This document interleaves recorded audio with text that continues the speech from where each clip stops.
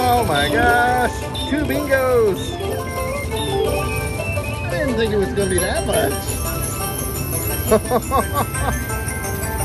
we could have really got screwed on this one if it hit this that there.